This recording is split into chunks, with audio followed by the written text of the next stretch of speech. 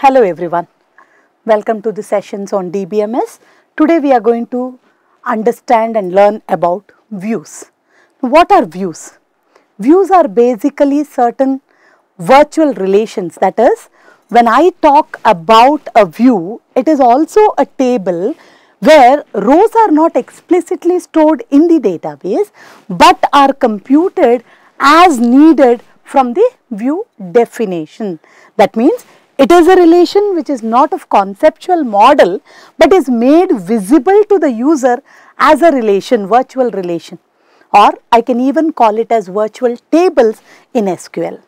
I call it as a table because it contains rows and columns. From where do I get these rows and columns? Now I can create a view by selecting columns from one or more existing tables.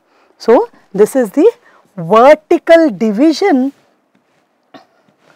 of the tables which will give me a view generated vertically or horizontal division or horizontal partition is also possible where I select the rows based on a condition.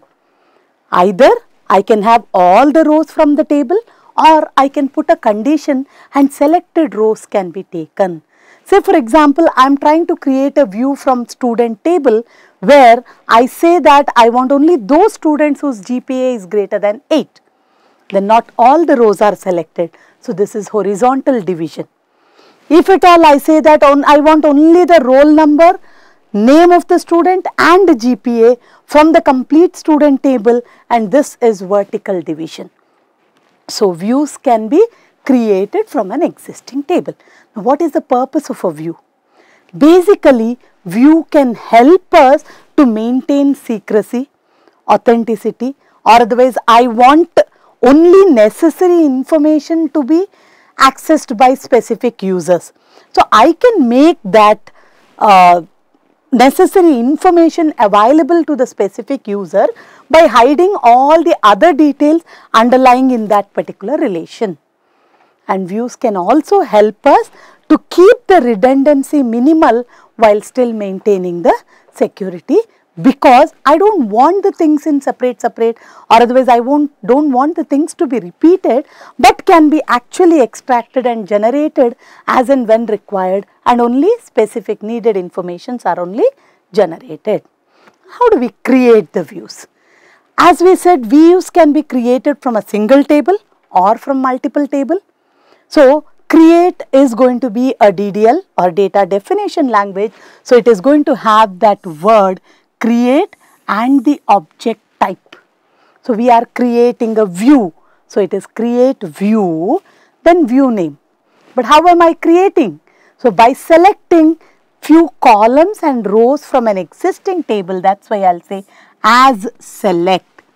Specify the column names which you want, column names from which table do you have horizontal partition also? Do you want a specific condition to be followed? Then use this where condition. Let me see the example. See here, view name is going to be the user defined name what we want to give. This column names are going to be the columns or the attributes of the base table and here condition is going to be the condition for selecting the rows. So, just look at this create view, details view as select name address from student details where student ID is less than 4. The first four students roll number and name. I just want name and address of the first four students I want it as a query. Now when I want to see who are those students, I will just say select star from details view. Remember views are always dynamically generated when I query it. So maybe first time when I have queried, say for example we said where GPA is greater than 8. First time when I queried I had 4 rows selected from that. Maybe after that I have updated the student table, I may get 10 rows also. So, the contents of the view are never going to be permanent, it is dependent upon the table from which I am accessing that. When I have multiple tables, the syntax varies a little bit whenever I am writing the column, I should specify from which table, that column belongs to which table. The same thing, select table 1 dot column 1, table 1 dot column 2, table 2 dot column like this. So, from also will include both the tables. Look at the example, create a marks view as select student details dot name, student details dot address and I get student marks dot marks. From the student marks table, I am taking the marks column. So, both the tables, now what is the condition? The name of the student in both the tables should match. Or otherwise I can say the roll number of the student in both the tables should match so that I will take the exact information. I do not want name and address of one student and marks of the other student. So, I should ensure that corresponding rows are only selected and this is as usual select star this is querying the table so querying the view as well. Now the next thing is that views how it supports data independence and security. Now when I speak about data independence there is physical independence as well as logical independence. Physical independence talks about the independence from the storage structures whereas logical independence talks about independence from the uh, schema variation. Now assume that I have changed the schema of a particular database, but for external users I want to use the older schema. In such situation views can be of support. Views can give me a way with which I can handle the older table structure or table schema. So, a view can be created uh, with the old schema and I can use this particular thing for the application programs.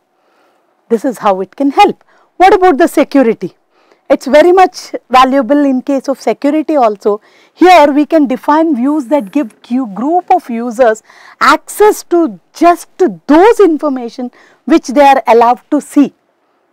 For example, I am talking about employee information the head of the department of a specific department should have access only to the records which belongs to records of employees who belong to his department or otherwise here when I am taking an example we are talking about a views from students. So, students should be able to see only their details and not the marks of other students. So, this way views can always help us to restrict the data information that is being delivered. Only the accessible information should be delivered to genuine users or correct users. Now, updates on the views. As we said, views are dependent on tables. Views are selected or created from an existing or one or more existing tables. So, the updatable views can always correlate with the base table. So, if I make new entries into the base table, the view extraction will always take the latest things and deliver it to me.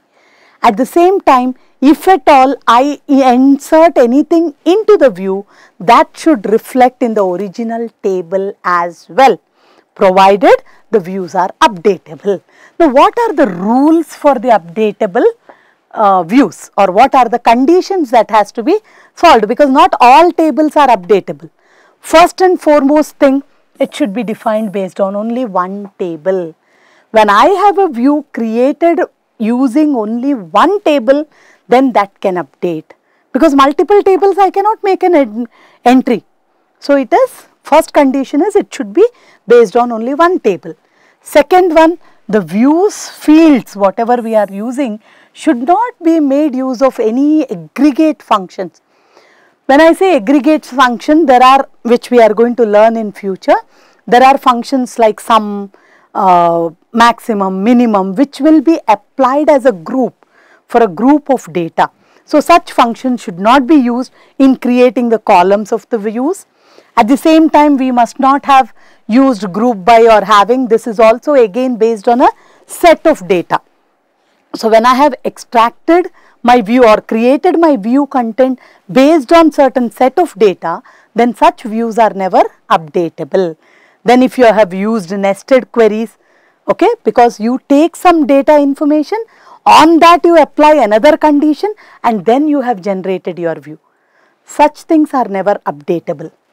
Coming to this, the selected output field should not be constants or strings or value expression. It is a necessary condition that it should be a column of an existing table and not uh, calculations like say a plus b or otherwise I just say that uh, date, okay, the fixed value strings or address value I have specified Hyderabad, something like this. Such things should not be the columns of the view okay and if we want to update a view based on another view then the that view also should be updatable.